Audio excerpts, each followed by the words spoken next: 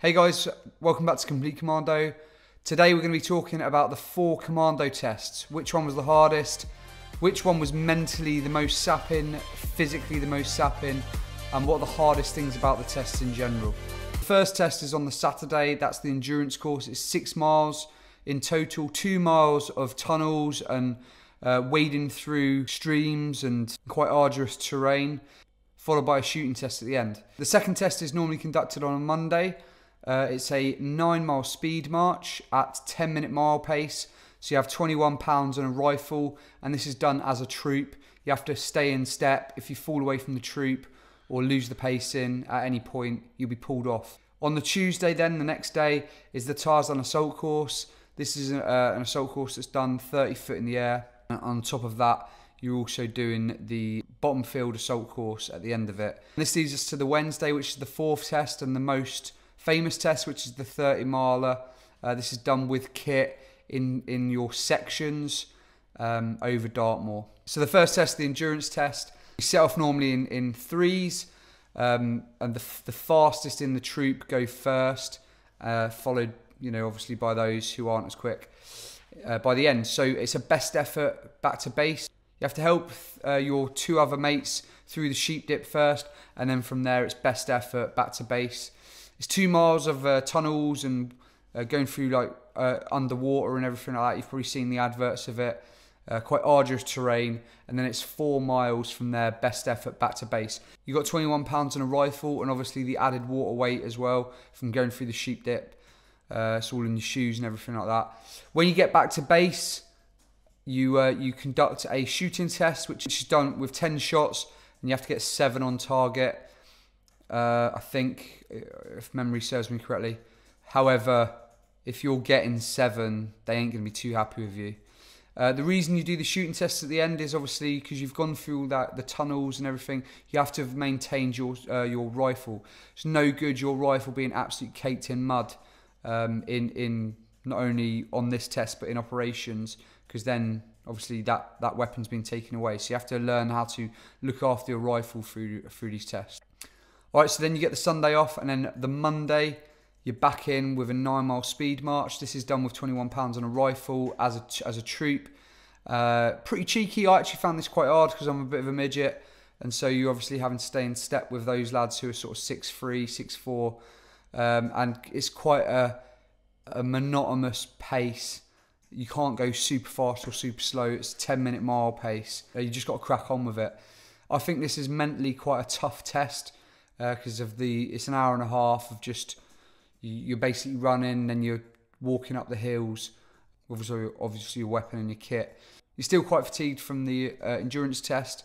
However this is week 31 of training so by now you're just hardened to it and uh, you're just broken anyway.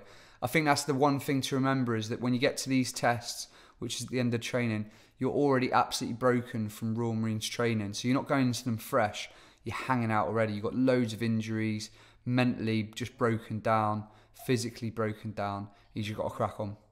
Tuesday then, so that's the Tarzan assault course. That's 30 foot in the air. You've got 13 minutes to complete this. You've got loads of obstacles 30 foot in the air. Once you've gone through them, it's then uh, you then run to the bottom field and you conduct the assault course that you do for, for a bottom field pass out and you finish climbing a 30 foot wall. This is just max effort, grizz it out, no nonsense, no messing about, just just absolutely go for it. Obviously, with the, the with all these tests, there's time limits. However, if you're scraping by them, the instructors aren't going to be happy with that. This again is conducted with 21 pounds and a rifle. Again, you're fatigued from the two tests before it, and uh, this is just literally grizz it out, no nonsense. This for me was my favourite test because I like just 10, 15 minutes of absolutely thrashing yourself and just getting it done. And and you knew that you know this is going to be uh, what 10, 11 minutes of hard work, but once it's done, it's done. Whereas the others dragged out for a lot longer. And then the next day, the final test is the 30 miler over Dartmoor. This is pretty cheeky. You go and stay over in Dartmoor. You're in your sections. So I think we were in sort of eight man sections at this point, maybe even a bit less because a lot of people had left. And um, yeah, you just just literally 30 miles. You've got an eight hour cut off. you're over like absolutely honking terrain. You've got your kit weighs about forty pounds for for this test, and like I say, you're super fatigued from the other three tests. Um, terrain's horrific. They make you eat these like pies that are absolutely gopping. They're like freaking frozen. Uh, the last thing you want to do is scran a massive pie, but you, you have to do it uh, so that they know you got enough calories in you. And then you're just trying to stuff your face with like jelly babies the whole time.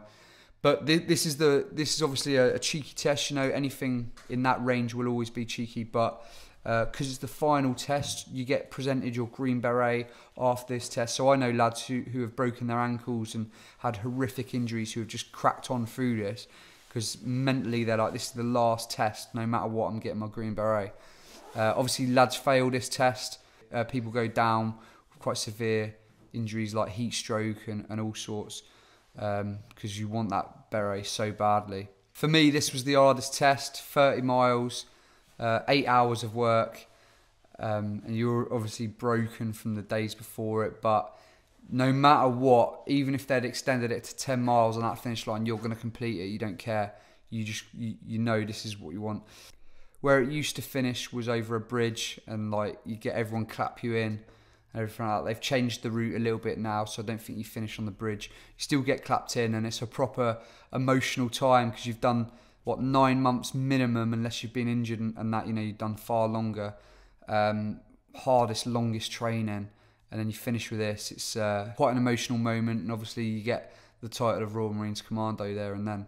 Sounds crazy to say this. It isn't the hardest week in training because you get relatively left alone. You do lectures and stuff uh, between the tests, but you get rel- you know you get treated relatively well because you're in your commando test. Whereas other weeks, you, you're just getting thrashed. You're never left alone. The mental battle of like your your room isn't safe. They can come in at any moment, trash your locker, thrash you for hours, bottom field, pee wet through, cold, all that junk just amalgamated.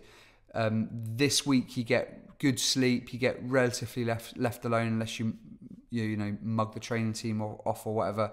So I actually found this week quite an enjoyable week. The the tests are obviously hard, but nowhere near for me the hardest week in training.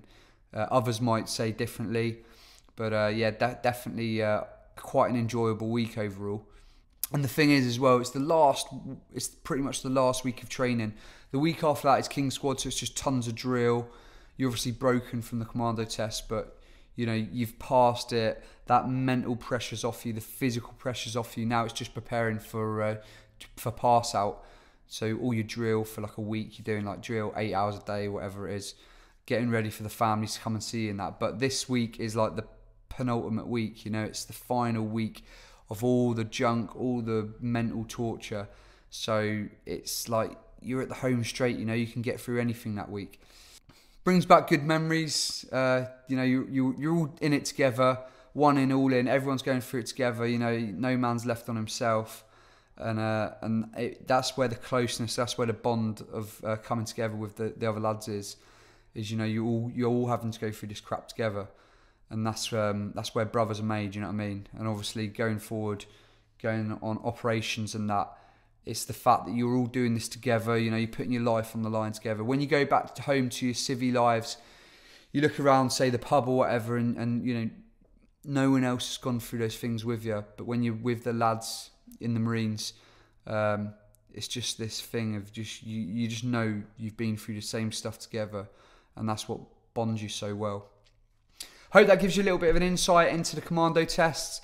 Uh, I look back now with fond memories. At the time, it's obviously absolutely gopping, but uh, so glad I went through it. So don't quit, just crack on. Cheers, guys.